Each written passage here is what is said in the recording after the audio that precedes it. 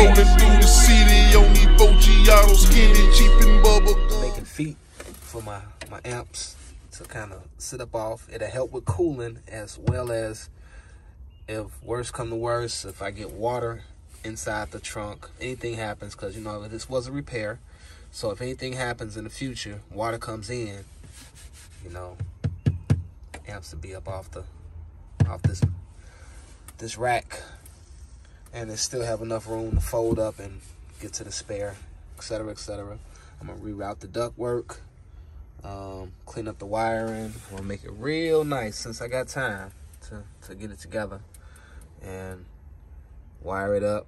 Oh, that's gonna be fun. Clean your wire off, clean your corrosion off your terminals, make them nice and shiny again. Making sure everything still opens and closes, making sure I can get it as neat as possible because this is welding cable. It's not a Sky High, it's not any other brand. Um, car audio cable, which is a lot more flexible than this stuff right here. It's flexible when you don't have the um, terminals on the end. Once you crimp those terminals, this stuff becomes molded. I'm talking about really molded.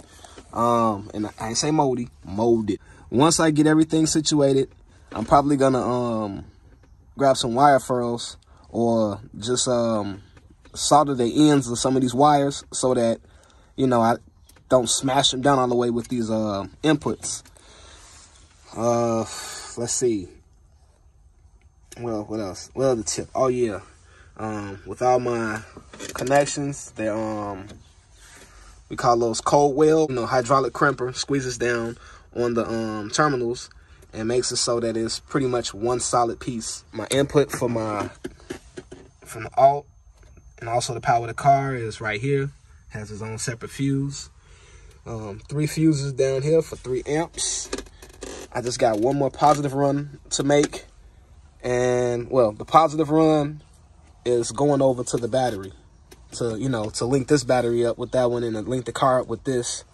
And then all of the amps and everything is coming off this battery right here, linked with this one, linked with that one. So basically, this is just my bus bar setup. This slot right here, I'm using for another battery. This slot over here, I'm gonna try and squeeze another little small battery in. You know, just slide this one over as far as I can and add another one right next to it. Oh, what else? What else? What else? What else? But shit, that's about it. That's all I got really going on for now.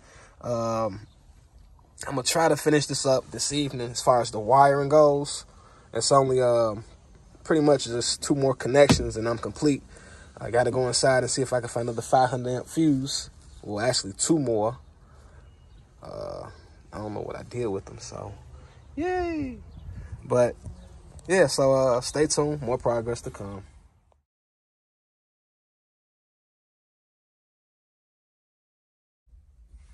Whoa. Back it up some. Yeah. So finally together. I just gotta tidy up my wires. I got both of the newer ones toward the rear. That's the brand new new. This is Recon new. And this is old. Yeah, I got them in there. It's late. I'm tired. I'm about to call this a wrap. But before I do, I just want to show y'all this too. Oh, wait, not that, but that right there. So, we got the lights. Oh yeah, looking good.